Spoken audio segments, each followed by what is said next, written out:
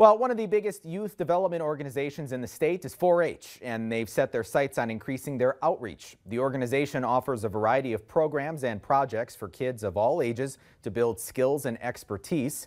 That includes archery, baking, animal care, quilt making, and STEM. 4-H Youth Development Agent Emily Burkett says their enrollment has been steadily increasing after 2020. If we get one more new member, we've meet our pre-COVID number. So that's exciting. It took that many years to build back up.